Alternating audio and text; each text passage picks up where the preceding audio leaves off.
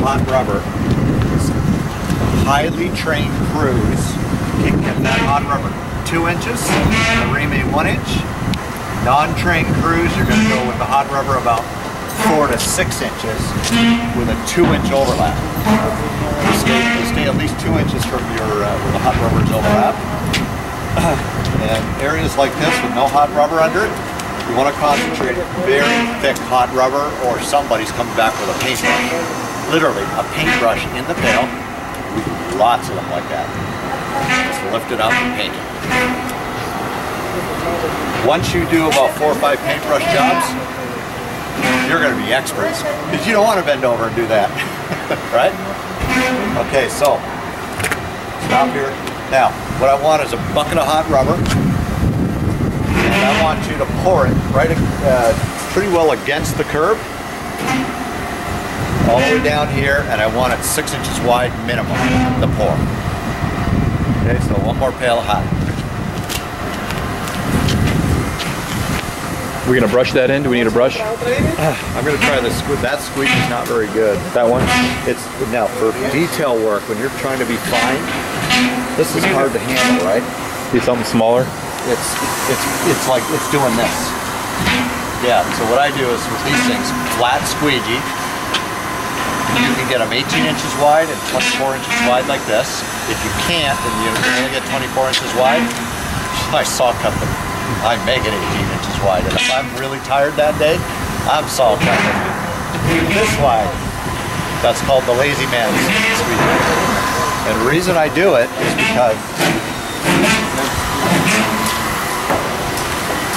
I want to be able to take that hot rubber like board right here. I want to push it against, and I want the hot rubber to pour over the top of the squeegee. And usually flat squeegees are much uh, higher. Flat squeegees are higher. Right, so I push, so I push the hot against it and it pours over. If I can't, I'm going to go to Lowe's or Home Depot and get a deck brush with a handle. Literally, I'm doing this. I'm dipping it and I'm brushing. Or I'm going to get a whitewash brush, you know, the, not the plastic one either. You know, stand heat. Some- Something like that. So this is going to be a little bit tricky with this. Always do what I'm doing. See how I'm to I'm going back and forth, most comfortable feel. Court. Just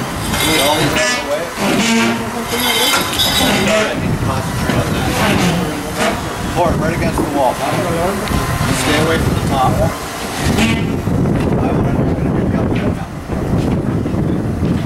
Six inches wide on the ground. Perfect. Get your hot rubber squeegee hot. Otherwise it won't squeegee.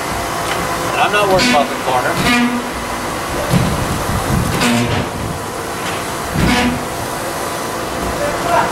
Got it?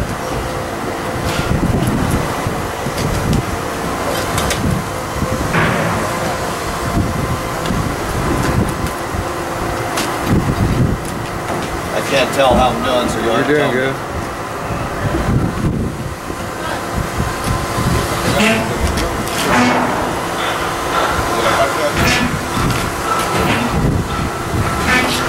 Okay. Pull this.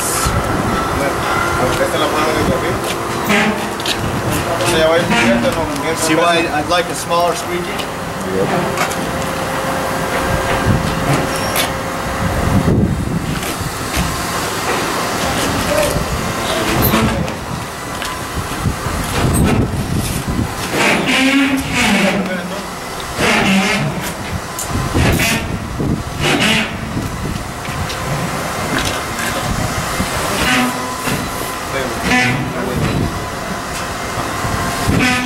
squeegee.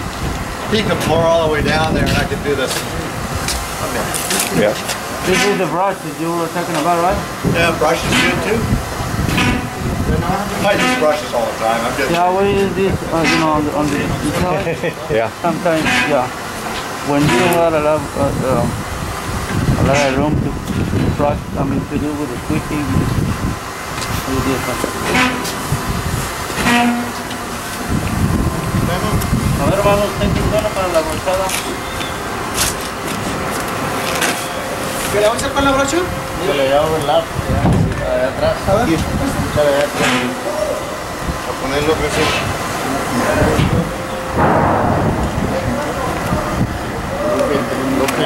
In reality, you see where the neoprene sheet ends? It should be another inch to two inches lower. The remay comes up over the neoprene. And year after year, it'll prevent the neoprene from sticking out without the use of termination bar.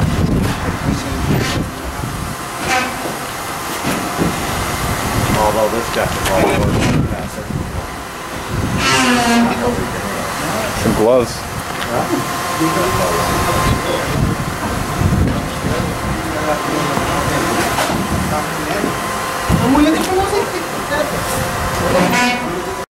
Fabric has to be covered, it'll absorb water. So the fabric's covered and then the protection is on the same day. There are occasions where we don't have time to put the protection on, right? Yeah. Especially during a water test. What if they wanted this water test and you put protection on it? Hey, it's leaking. Really? Where? You never find your leak. Never. So sometimes during a water test, I'll, I'll just cover up the remay. Everything is now black. Do my water test, which is two inches. Some states are 24 hours. Some states are 48 hours. And you get the odd engineer that may say, uh, oh, on three days. Water tests are going out of style. They're useless as far as I'm concerned. Uh, water tests up north, like we just uh, did one in Minnesota, four inches of water. The structure wasn't made to take more than three inches, and nobody questioned the specification. What do you think happened to that water test? Six hours later, I had four inch block of ice.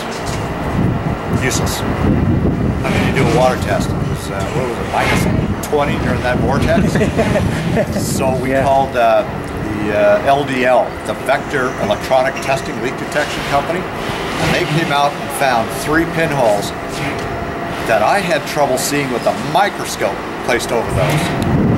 Were so accurate compared to a water test with electronic uh, leak detection that those people provide. 50 times better than any water test. Because a water test might determine that there's a leak. But sometimes water can't go through concrete for a month, right? So your water test is useless anyways, but that leak detection, it's deadly accurate. You can stick a nail. And what I usually do before the guy shows up, just in case he's a newly trained fella, I stick a nail right through my membrane. Boom. Right? You can't see it because the primer's black, so it's very difficult to see. Then I watch him. Right? Running that electronic thing over. He misses that now, he's off site I get somebody else.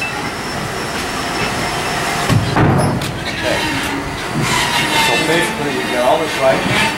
How's the brush working for you? So what I do with those brushes now, now you don't want to mess up your melter, but literally a lot of uh, fellas will heat up their melter, take those brushes laying all over the ground, and put them right on top. I got a hanging on there. That's what you do, right? Yeah.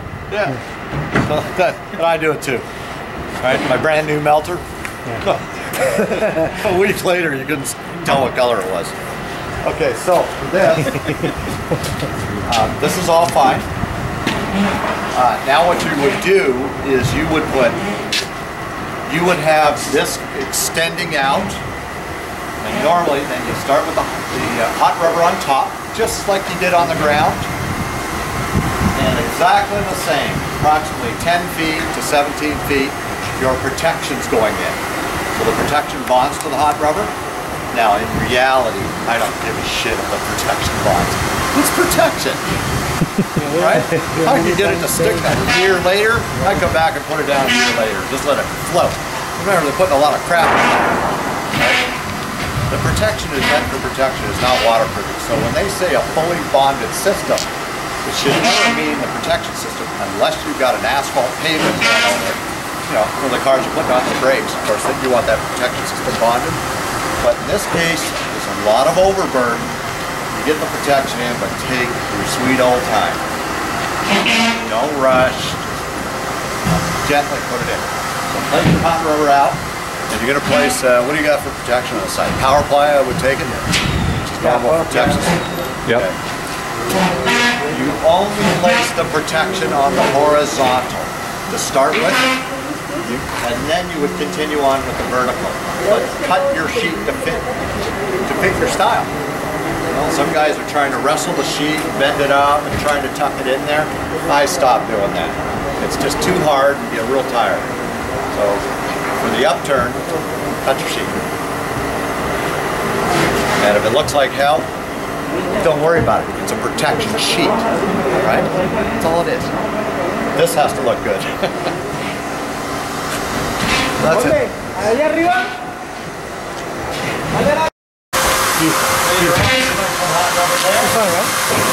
Yeah, that's good. Perfect.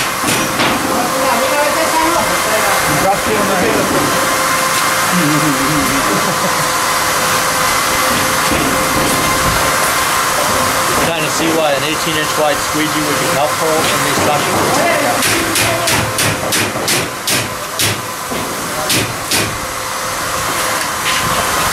Get it hot, you got it. Always remember, get the squeegee hot before we put it.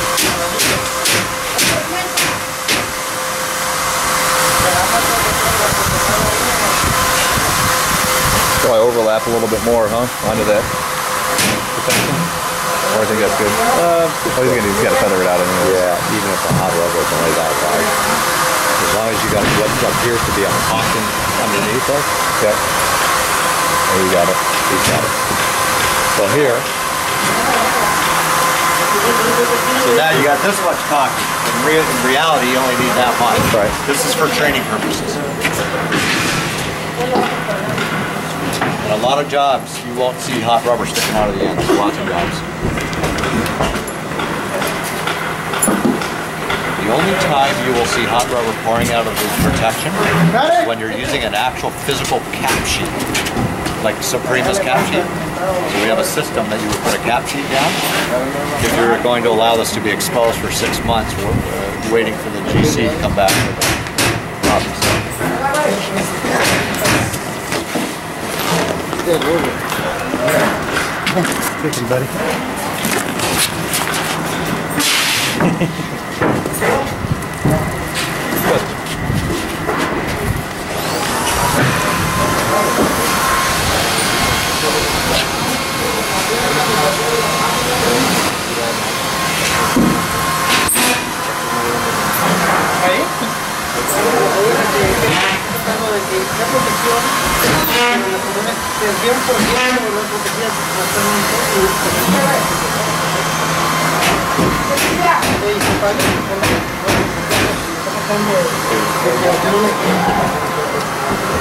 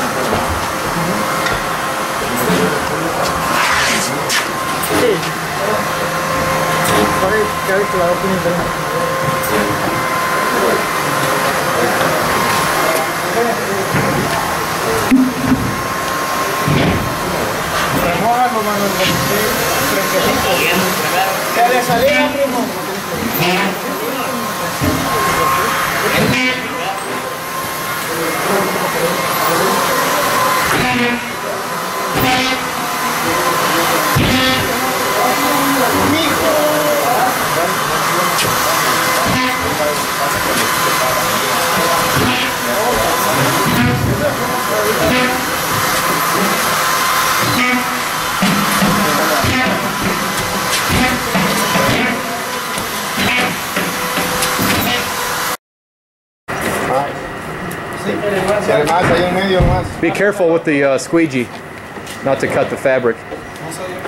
Right? I don't know if I want to even mention the word notch in the video. Just say don't do it. No notch screws.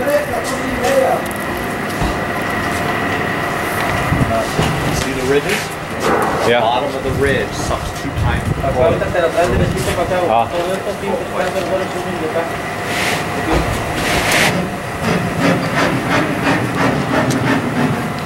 ¿Este primo? ¿Listo? Oye, primo.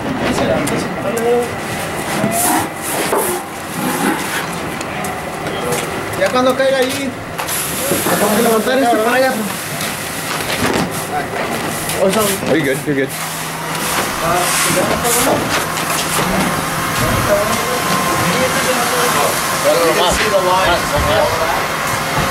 good.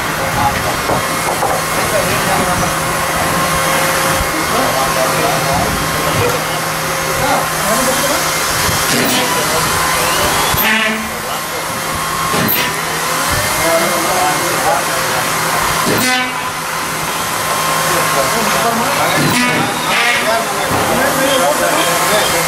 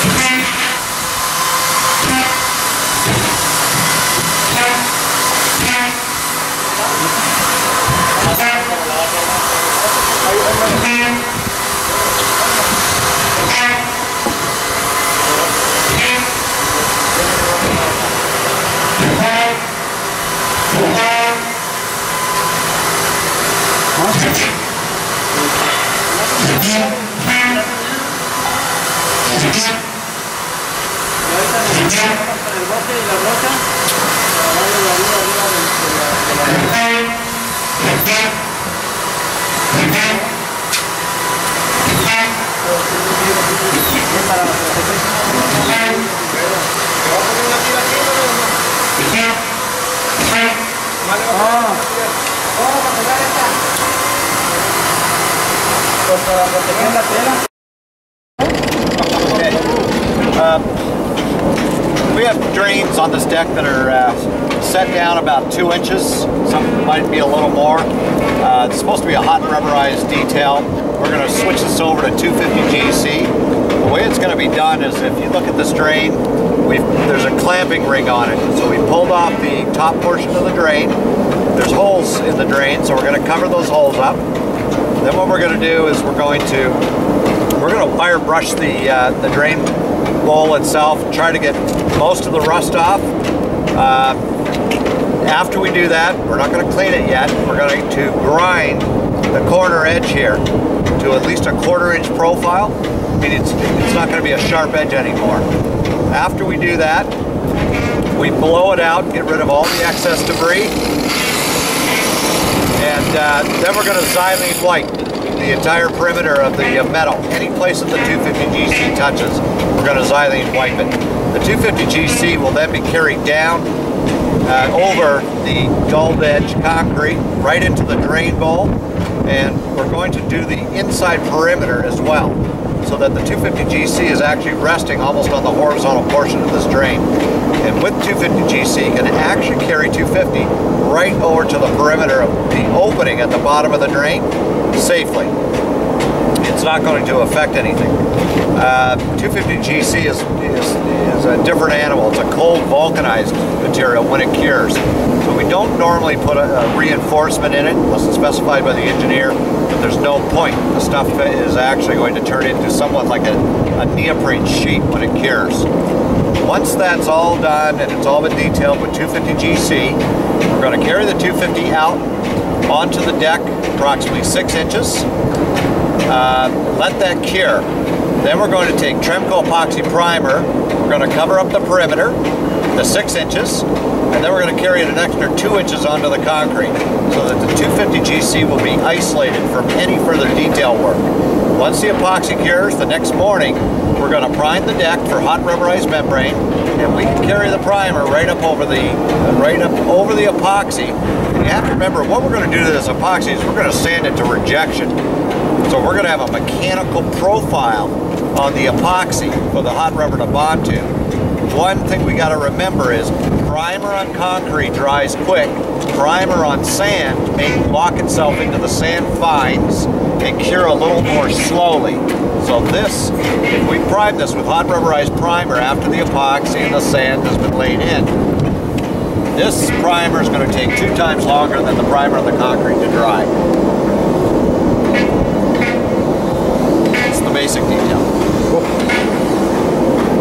hours. Okay, so I'm going to show you a second method for waterproofing this. Uh, um, this will be the hot rubber method. so what you're going to do is you're going to pull the drain ring off, which is really a clamping ring, so the hot rubber is going to go underneath this. this you're going to grind down the uh, the edges till a, till a quarter inch profile, meaning this sharp edge has to has to go. Uh, take off some of the rust. You don't have to be too careful when you clamp down with hot rubber on all the rust. It's not going to go anywhere because this, this detail is going to be a little different from what you're normally used to.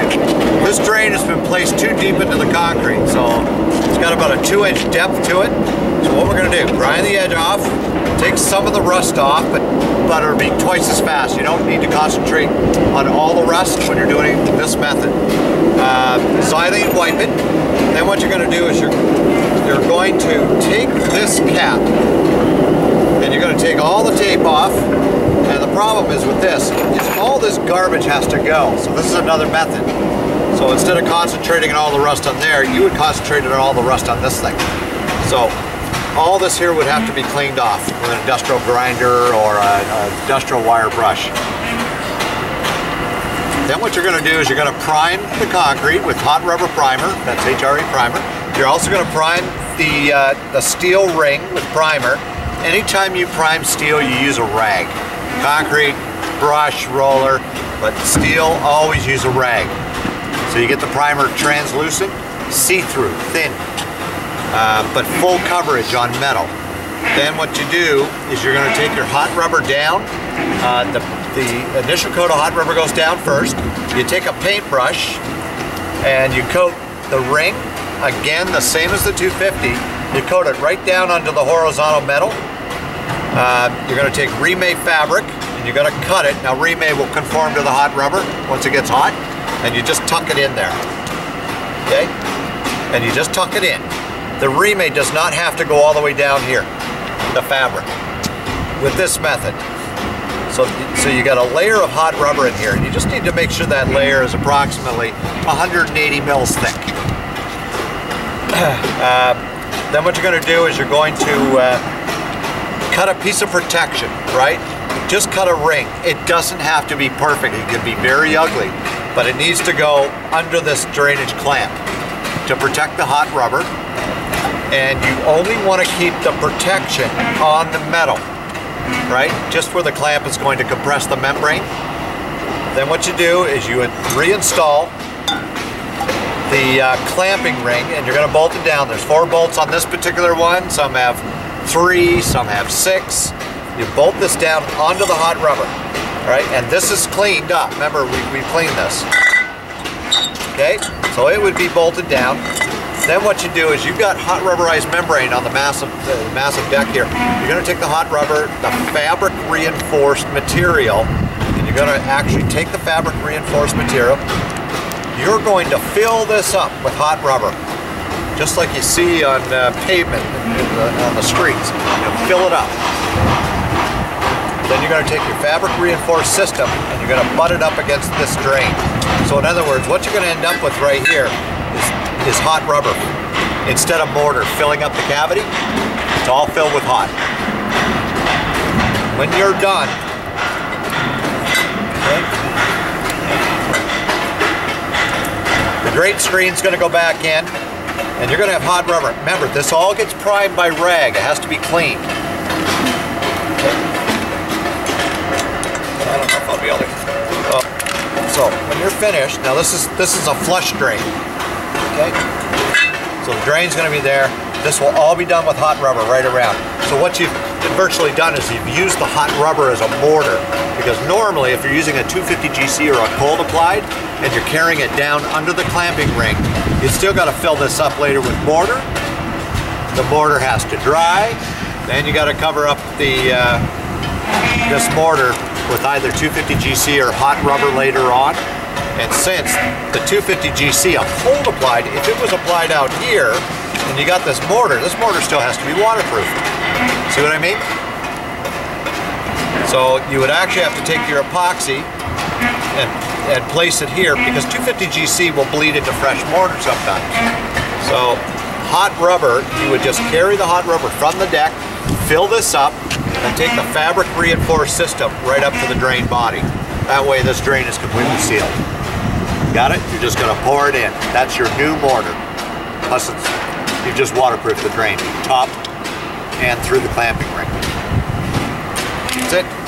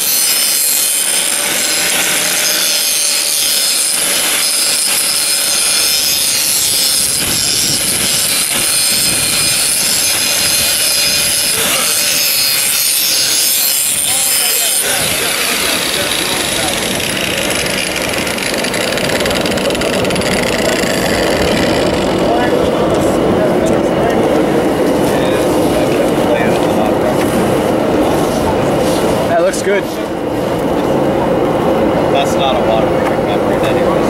It's only the water. Okay. Now we gotta do the, uh, the bowl and take some of that rust off and then we'll xylene wipe it.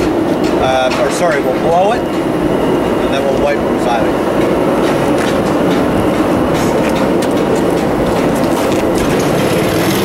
no, conéctense. Bueno, a ver. Quarter. Take off the inside, right?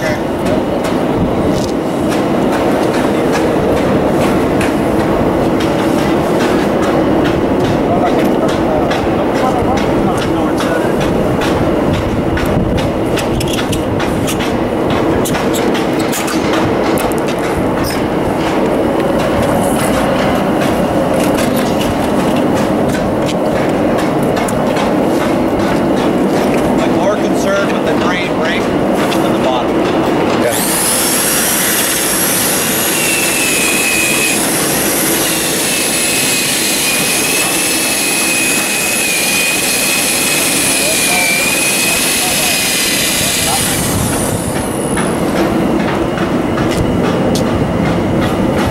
Perfect.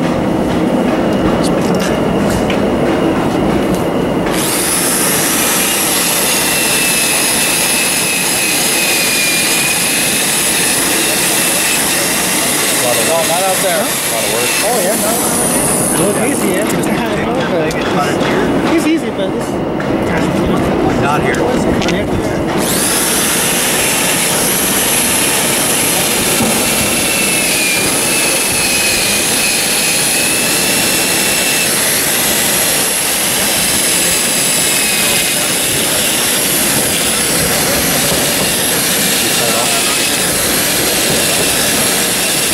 No harness. No harness. Very calm. Greg, where's his harness?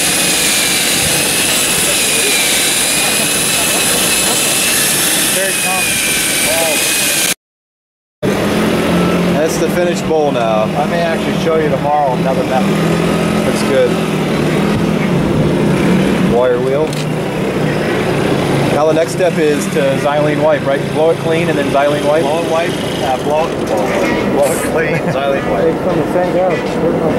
So you gotta blow the perimeter Yep. You guys want to get the blower? and, and the drain. La sopladora, mama. Ahí from the front.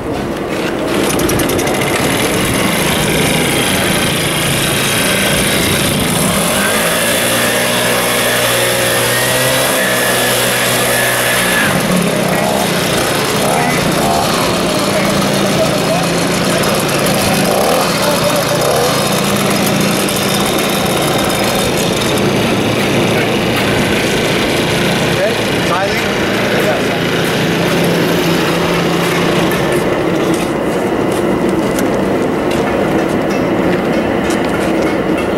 This stuff drowned me. I like it. Nice.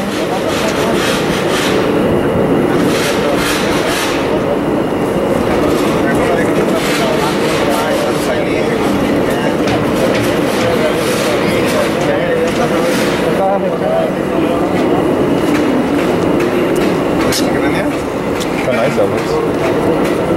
Beautiful, huh? Oh yeah. Okay. The most important is here and here. Here we don't care. Yeah. It's, you know, water. Okay. It's dry? Yep. So we're getting on the xylene the same day so there'll be no flat. Okay, 250 GC trowel, right? Why would you do it by gloves? Because you can feel the 250 getting into the crevices between the uh, metal drain ring interface to the concrete. You can feel it. Trowels, you can't feel it. So this is the way we're going to do it. We're troweling it in first. The guy with the big old gloves is going to take his hands and he's going to feel that it's actually bonded through there. Right? I can feel the metal interface to the concrete, so I know I'm getting it in there, right? So one guy is going to take a trowel, the other guy is going to take his gloves. I would not trust a trowel around these bolts because I can't tell if the trowel's actually getting around them. But I can certainly feel with my gloves that it's getting in there. And that's it for that. Okay?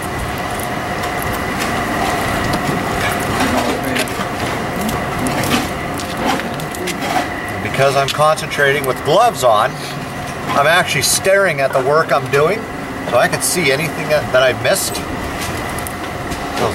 Around these bolts. See, trowels won't go around those bolts. You gotta use your fingers, right? It's a lot faster too, doing it this way. You can be messier, quicker, Why is that called a Canadian mess? Slang? Because in 15 minutes it could be minus 20 degrees zero. You, you want to get off your job fast.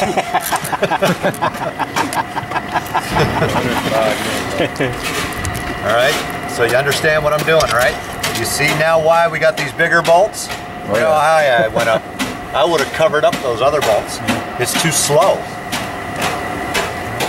So just get it to where you think it's about an eighth of an inch thick.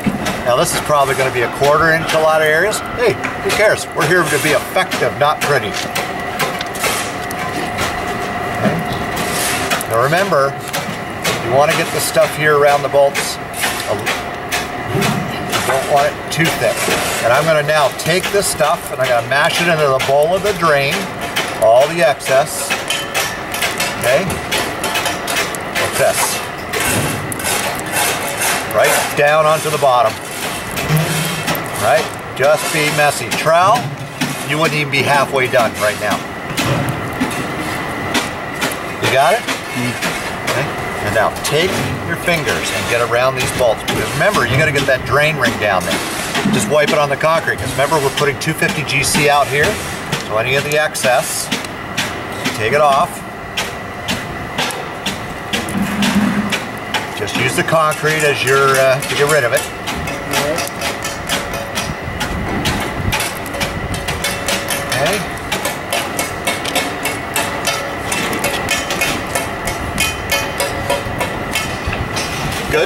And now the trowel you would use for the outside. Six inches. Six inches.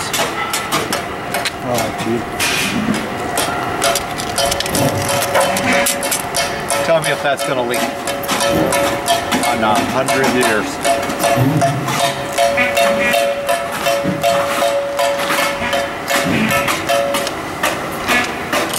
Those of you younger guys with better eyesight are probably gonna end up by your third and fourth grade. You're gonna be twice that fast.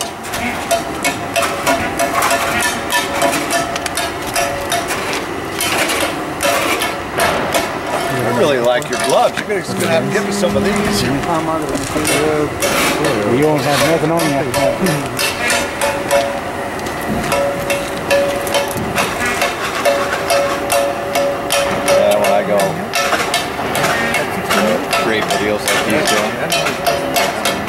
How many meals steak is Oh. you need?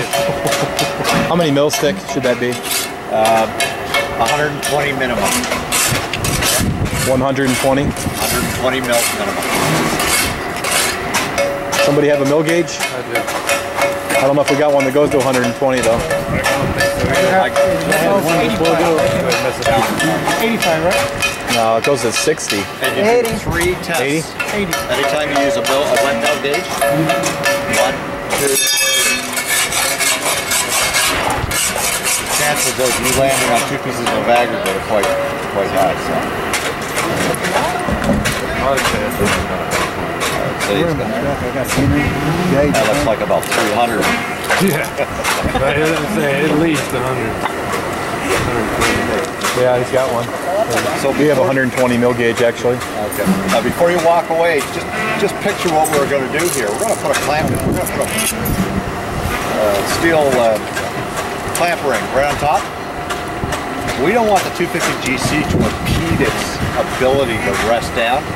Otherwise, you're going to be torquing this down pretty hard. 60 abajo y arriba 150. So when this is approximately 75 to 85 percent cured, you're going to put that uh, drain bowl ring back in.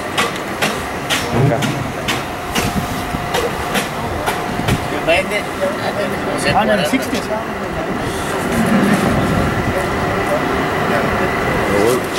We're good. Like that? About 120 minimum. 120. So Greg, how long how long should this cure? As far as the 250 GC? This might be cured enough by tomorrow, but it's going to be very, it's going to be sub, uh, what is it, under 32 degrees tonight. It's probably going to take two days. Two days. So we shouldn't come back with the epoxy over this until a couple of days. Probably 48 hours. Yeah. Okay. You guys hear that? Two days. hours. Probably detail all the drains, and then 48 hours before you can put the epoxy on top of that. It's cold Yeah. tonight. Very cold. Okay. Bobby in? Day after tomorrow, I was coming back. Good. Okay, so now you got to remember what's going to happen. That drain bowl's going back in. It's going to be bolted down. There's going to be a big old gap around that drain bowl. See that?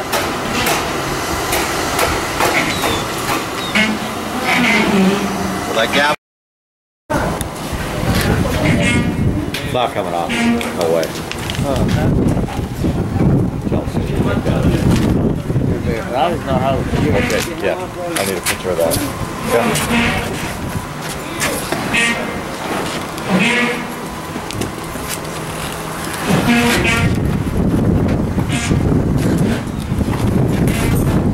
Primer never soaked off. Keep cutting. I want to take a picture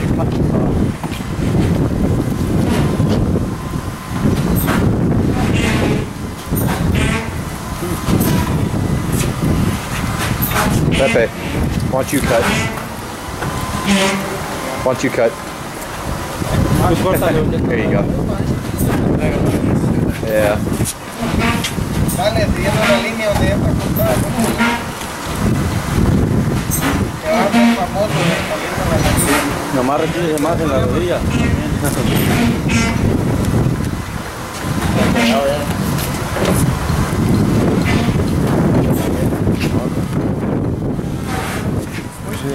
Look like green there. Dirt.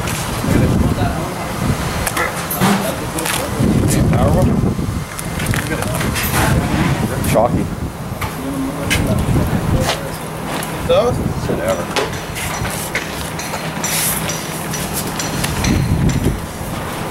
Okay. Córtale así entonces. Now that I would accept. See that? Yeah.